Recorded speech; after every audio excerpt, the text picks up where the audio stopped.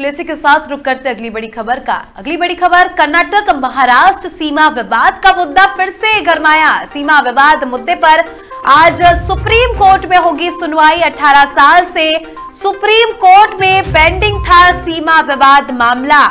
सीमा distribution पर अभी तक नहीं लिया नहीं लिया गया अंतिम निर्णय 50 साल से ज़्यादा पुराना है कर्नाटक महाराष्ट्र सीमा विवाद।